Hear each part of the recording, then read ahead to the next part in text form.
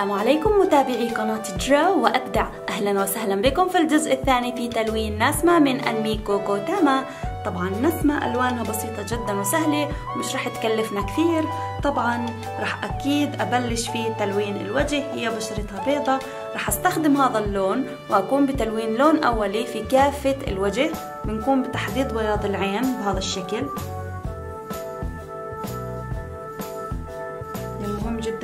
نحدد بياض العين مشان ما نتخربش ونلون جوا نتركه أبيض. وراح اقوم بتلوين كافة الوجه والرقبة وشوي من الأذنين من هنا باللون البيج لكن بخط فاتح ما نضغط في إيدنا بالقلم ونلونه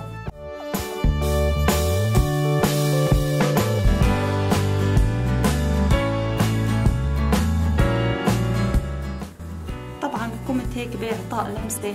أولية باللون البيج. هسا رح أقوم بنفس اللون بالضغط في إيدي على القلم في هاي المنطقة. زي ما أنتم شايفين بهذا الشكل تحت خصر الشعر.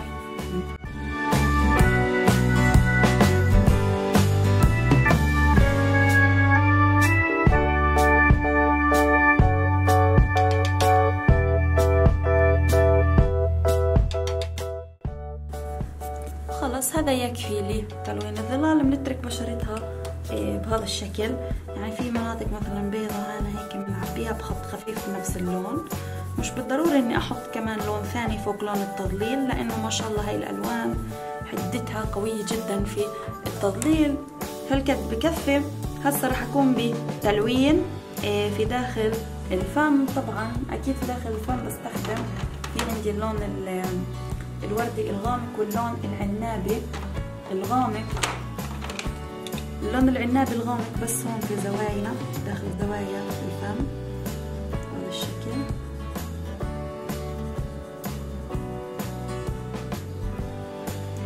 وبهذا اللون بلون اللسان بخط فاتح. هذا الشكل. خط دائري هيك زي بشكل دائري بلون مشان أزجم اللون مع بعض. وهيك بلون بخط أغمق هيك من جوا.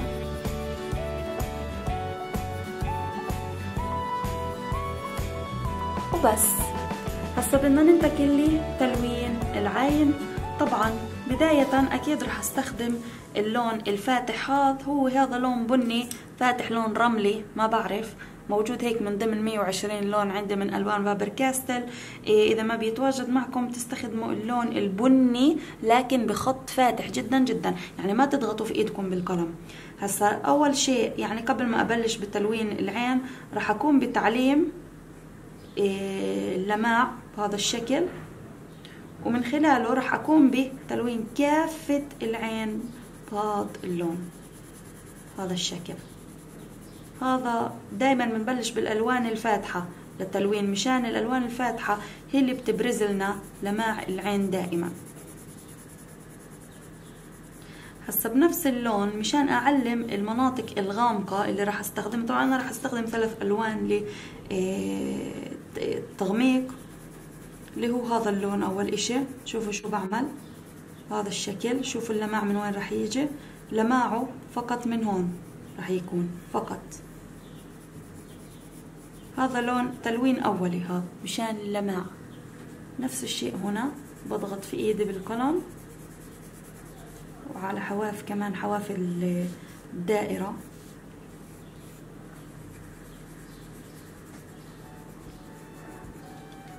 بهذا الشكل. هيك أعطاني زي لون زجاجي للعين. هسا رح أنتقل للدرجة الأغمق. في تلوين العين هو وهي درجة البني.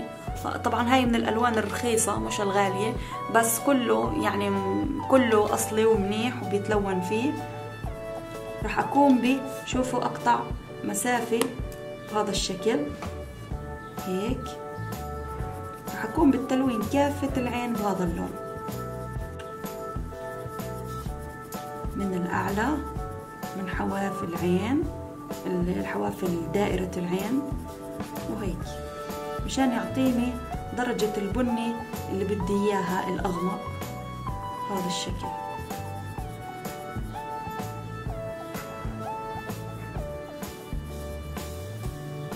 حافظوا على البي... أهم شيء حافظوا على لماع العين.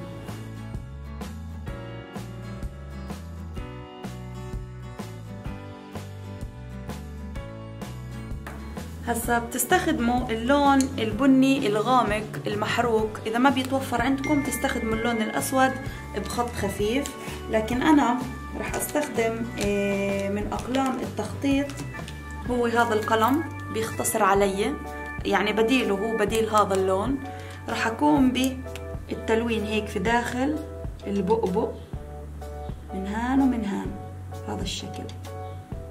فقط. هاي الأماكن اللي راح أستخدمها. وكمان على الحفة على حفة العين حواف العين بهذا الشكل. راح ألون هيك في الداخل؟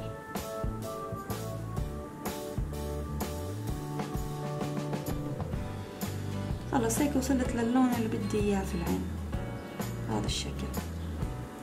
راح أنتقل للشكة الثانية من العين. نفس الإشي بعمل.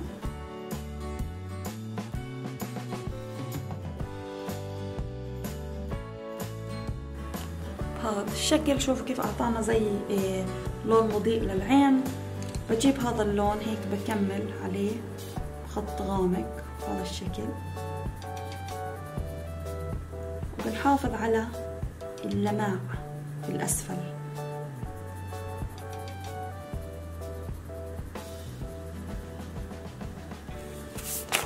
خلص هيك وصلت للون اللي بدي إياه.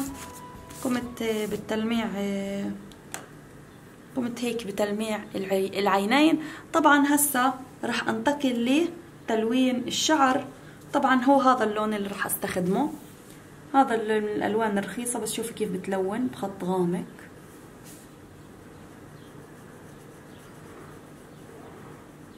هسا راح أستخدم هذا اللون لتلوين كافة الشعر. هسا راح ألون من الأسفل بهذا الشكل مشان نعطي درجة لماع للشعر بهذا الشكل. للأعلى. كمان للأسفل. هاي الطريقة.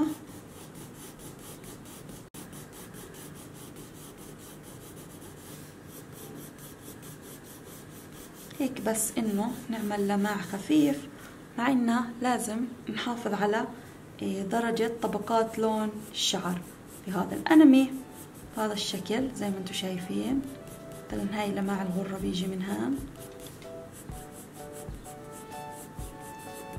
خليني أكون بتلوين كافة الشعر بشكل مسرع مشان تشوفوا كيف بالضبط.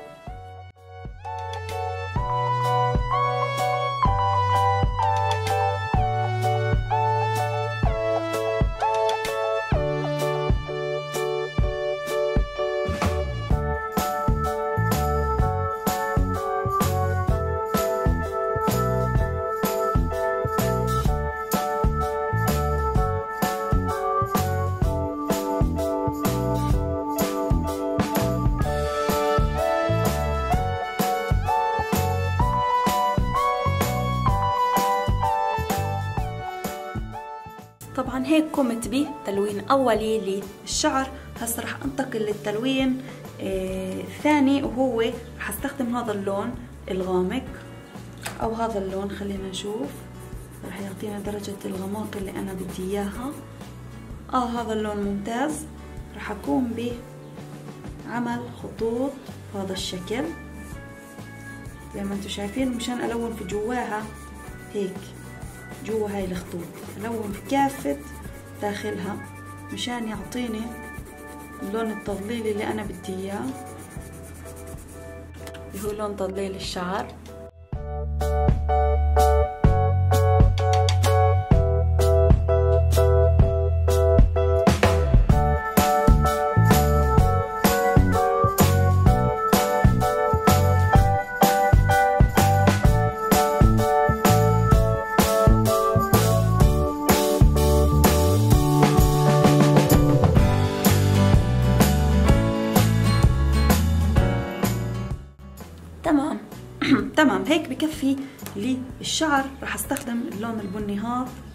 بتقوم بس بالتحديد بهذا الشكل.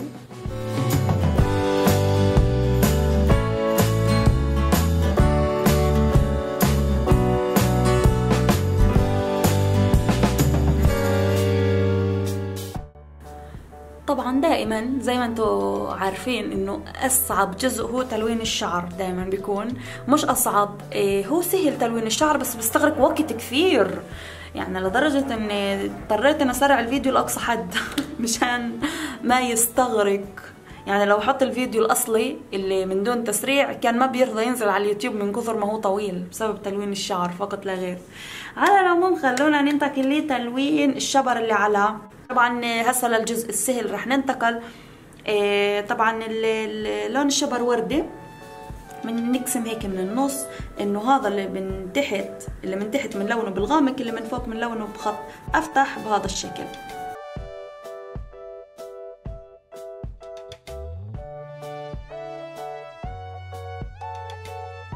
هسه رح أنتقل للكبة وهذا الخط والكبة رح نلونهن باللون الوردي بس هذا الخط وهذا الخط بنتركهم أبيض هدول اثنين أبيض زي المريول اللي لابسته أو إشي. وطبعا رح أقوم بتحديد زي مش هنا مثلا خط الظل هيك رح يجي خط ظل الوجه. من هون نفس الشيء هيك رح يجي كله. يعني من فوق ومن الأعلى بنلونه بلون غامق هذا الشكل. ومن تحت بنلونه بخط فاتح هيك بنخفف إيدنا شوي. ولونه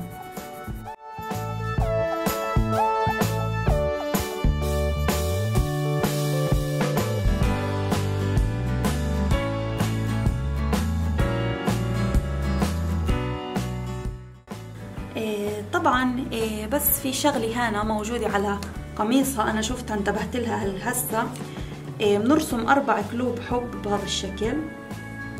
واحد اثنين ثلاث أربعة. طبعا راح أقوم بتخطيطهم.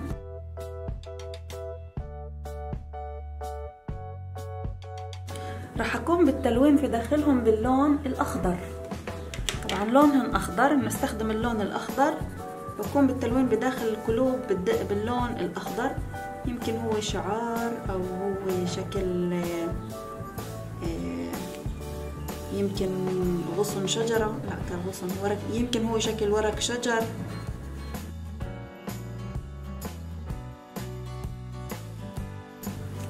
زي ما أنتم شايفين هيك بهذا الشكل هيك زي شكلها زي ورق شجر يمكن أو قلوب أو ما بعرف بالضبط. على العموم خلونا ننتقل لتلوين الكنز اللي لبستها طبعا هو هذا اللون بالضبط لون أصفر أفتح درجة اللون مائل إلا بياض.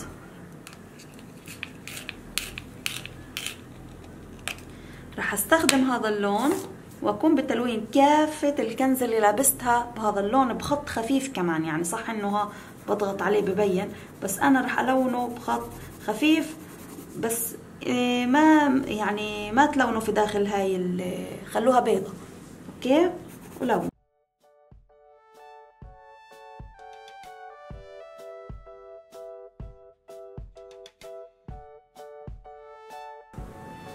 هيك حبيت إني بس في هذا اللون الشوكولا أدخل شوي على الشعر بهذا الشكل مشان يعطيني إضاءة خفيفة بس.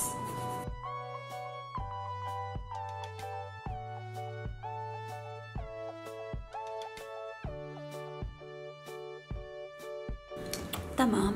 هسا لو سألتكم حكيت لكم شو اللون الظلال اللي ل اللون الأصفر الفاقع تك تك تك تك الإجابة راح تكون هو اللون البني المحروق صدقوا ولا ما تصدقوا؟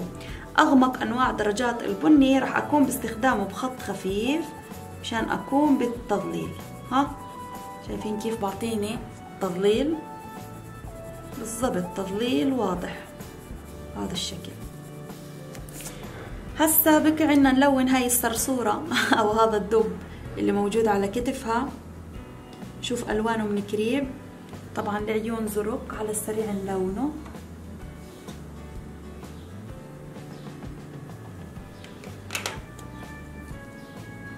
نعمل هيك أول شيء لماع داخله.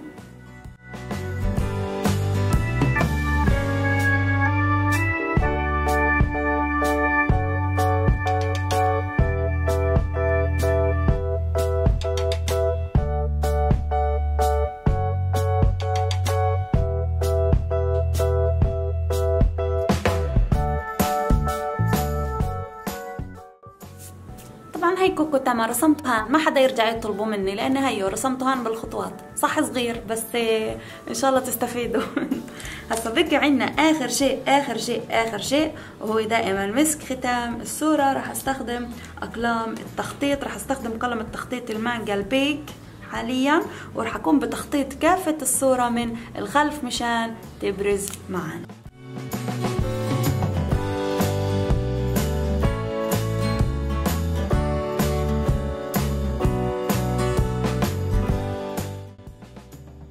تمام.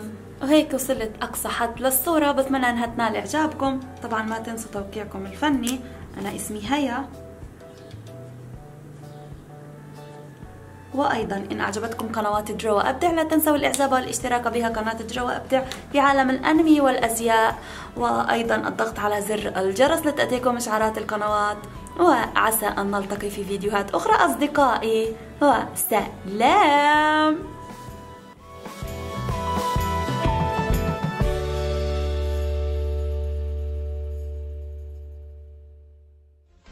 أعجبكم هذا الفيديو لا تنسوا الاشتراك والتعليق في القناة. كل الحقوق محفوظة لدى قناة درو أبدع.